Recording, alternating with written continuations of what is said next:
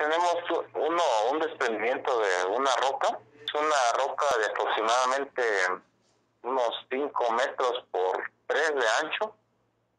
Y este sí tuvimos daños de la tubería de 8 pulgadas, la cual se encarga de, llenar los tanques que suministran el agua potable a la población. Este se dañó también eh, al paso de esa del recorrido de esa piedra una un baño de una capilla, la capilla de Guadalupe con la que contamos.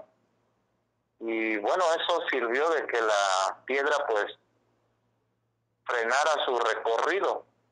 Quedó aproximadamente a 30 metros de, de las viviendas ahí cercanas. El tema de salud pues sigue funcionando normal.